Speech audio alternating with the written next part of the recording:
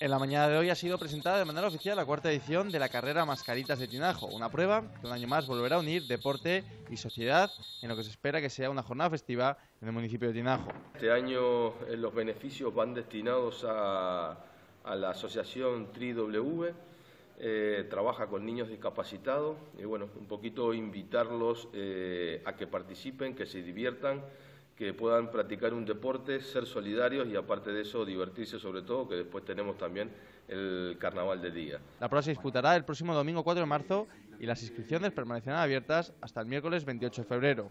Para felicitar eh, una vez más a la directiva del, del y Tinajo por la labor que hacen ya no solo en el, en el día a día del fomento del deporte, sino además eh, la labor social durante el año promoviendo eh, diferentes actividades como son torneos, campos, una de concentración y ahora donde estamos aquí para la presentación de la cuarta edición de la carrera de mascaritas.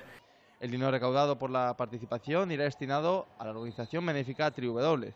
De nuevo, el Club Tisiri Tinajo organizará el evento respondiendo al carácter social del Club de Baloncesto. El domingo día 4 de marzo les invitamos a que participen en un evento solidario como es la carrera, la carrera de mascaritas domingo día 4 a las 10 y media de la mañana. Les quiero ver a todos ahí participando disfrazados.